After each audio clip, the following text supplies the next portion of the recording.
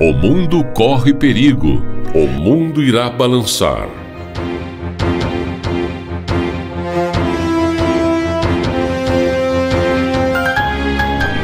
O mundo corre perigo. 14 de outubro do ano 2000. Sempre que meu santo nome for pronunciado, não deixai que alguém possa vir modificar as minhas leis, pois elas são vidas. São leis que jamais um homem sequer poderá mudá-las. Quanto aos meus ensinamentos, este sim, que é João Paulo II, pode e deve ensiná-los, pois cabe a ele guiar meu rebanho, e não os falsos pastores. Esses que vêm se chegando nos últimos tempos são ladrões de minhas ovelhas. Filhos de Israel, levantai vossa cabeça, porque o tempo das nações pagãs aos poucos vem chegando. São Lucas 21, 24. É preciso, minha terra natal, que primeiro teu povo baixe a cabeça, e depois, então, olhe para o alto e diga-me: Senhor, o que queres que nós façamos? E eu vos direi: que sejam assim como fui nos meus tempos, um exemplo a vós deixei. Todos aqueles que vierem ferir alguém com suas espadas, com elas serão feridos.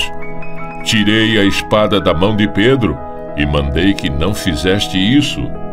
Então, entreguei-me nas mãos dos carrascos por amor a vocês agora pelo mundo inteiro, venha vos pedir. Se não olhardes os vossos erros, podereis perder até a última coisa que vos resta, que é a alma. Sim, como posso te perdoar, Jerusalém, se pisoteias as pessoas inocentes? O inimigo quer tomar esse lugar à força, e nenhum membro de minha igreja lembra desta profecia. Virão dias que não ficará pedra sobre pedra. São Lucas 21, 6. O mundo corre perigo. As nações começam a intervir. Daí sairá minha Jerusalém, a fumaça que matará milhões de pessoas. Porque os países que têm armas químicas as usarão, uns a favor de Israel e outros contra Jerusalém. Mas sozinhos não ficarão, porque tem quem possa dar apoio. Inglaterra, Suíça, França e Estados Unidos procurarão defender tudo isto que vem ocorrendo.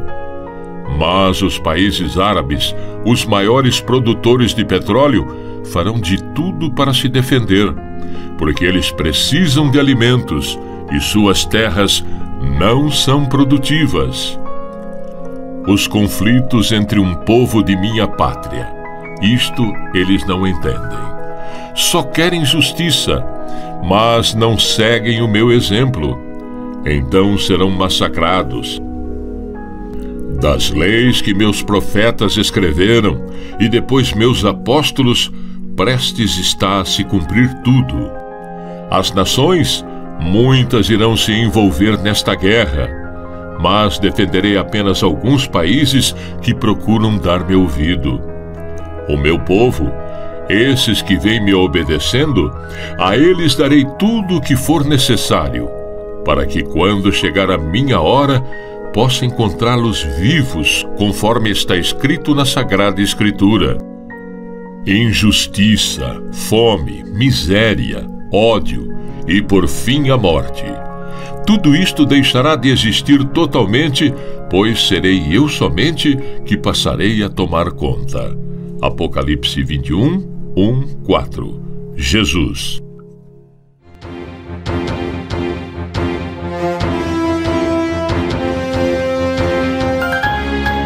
Mundo irá balançar.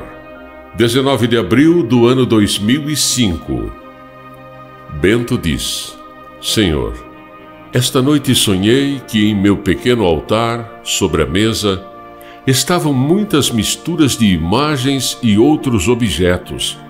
Mas nada disso ali tem, a não ser só dois anjos segurando uma lâmpada, a Bíblia e a luz natural que representa o Senhor.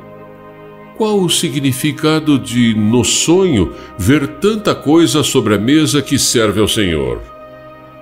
Jesus diz: Isto não significa nada. Para quem vem acompanhando os acontecimentos lá em Roma, são muitos a querer, mas sem o meu poder. São muitos a fazer a escolha, mas sem o processo principal. A mesa que vem sendo usada para o santo sacrifício da Santa Missa vai mudar, como já tem em muitas igrejas, a qual não está mais perto do sacrário, onde sempre foi, para que os sacerdotes olhassem para mim. Hoje viram as costas e eles preferem olhar para os fiéis. Para esses, quase não significo nada. E as oferendas que não é para estarem sobre a mesa, retidas serão tão logo. Os pedidos que me fazem, a poucos, muito poucos, eu dou atenção. Motivo este que só eu posso ver. Nem ouro, nem prata, e menos ainda dinheiro vou precisar para restaurar meu novo reino que está para vir. Pelas mãos dos homens, só receberei ajuda de quem me ama e me respeita de tal forma que a mim me agrada. Quanto a esses, já estou reservando-os para cuidarem dos meus pequenos rebanhos que tenho em cada país. Motivo este que é de suma importância e que me satisfaz. Sei que vou virar um comércio. Sei que meu nome já está sendo apagado. Deus. Sei que a minha igreja vai ser mais socialista também sei que a maior parte vai ser progressista. O calendário irá mudar. Os ritos sagrados só irão existir nas mãos dos meus conservadores. Por isso e por outras coisas que virão a acontecer, é que o mundo irá balançar como uma pessoa bêbada. Não será no entardecer, não será no amanhecer, e sim no momento quando não haverá mais luz. Mas os que são meus não precisam ter medo. O medo só sentirão todos aqueles que vêm me desprezando, principalmente os que estão dentro de minha igreja que passei a Pedro. Esses sim vão sentir remorso, como foi nas horas em que passei na cruz. As trevas tomaram conta, os prédios começaram a desabar, os pilares se partiam como se fossem de gesso e os que me crucificaram perderam-se no meio da sujeira. Muitos esmagados, outros pisoteados. E assim foi a justiça de meu Deus e de vosso também. A garantia para vocês, meus queridos filhos, é este que escreve. Ele tem o meu aval. Jamais eu daria este meu nome se tudo isto não fosse real. Na terra, outro não o teve só este meu pequeno profeta, como garantia de tudo o que venho prometendo. Cuidai-vos, pois não sabeis a hora. Lembrai-vos do que João Paulo II falou, por ser o último. Jesus.